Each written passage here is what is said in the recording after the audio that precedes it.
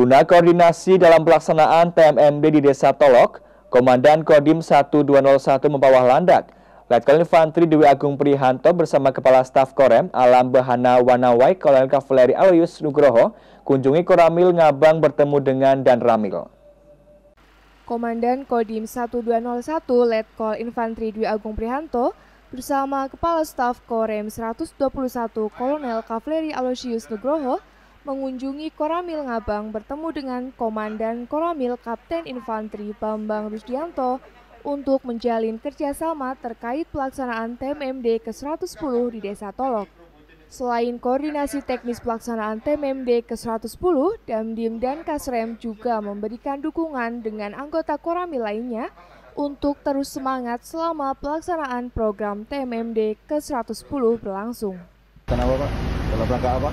Ya, eh, kegiatan kita ini sekalian eh, mewakili Danrem, pembukaan TMMD ke 110, kemudian ada kesempatan juga melihat satuan di bawah eh, Kodim yang ada di Koramil sini.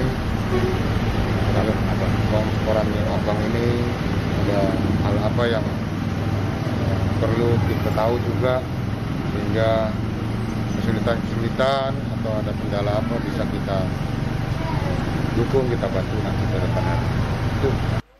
Sementara itu, Dan Ramil Ngabang, Kapten Infanteri Bambang Rusdianto, mengucapkan terima kasih mendapat kehormatan didatangi Damdim dan Kasrem guna menjalin koordinasi terkait pelaksanaan TMMD ke-110. Ya, terima kasih atas kunjungan Bapak Kasrem dan Damdim.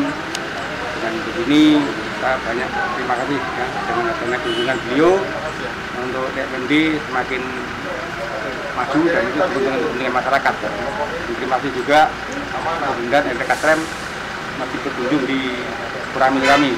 Ada motivasi yang sangat besar sehingga anggota juga sangat memerlukan beliau-beliau bisa mengunjungi anak buahnya secara tidak langsung maupun langsung kita beri semangat apa bentuknya kita akan tetap semangat Dengan koordinasi dan komunikasi yang baik, dipastikan program TMMD akan berjalan sesuai rencana, tepat waktu, dan bermanfaat bagi masyarakat. Dari Tolok, Kabupaten Landak, Tim Liputan, Safli TV, mewartakan.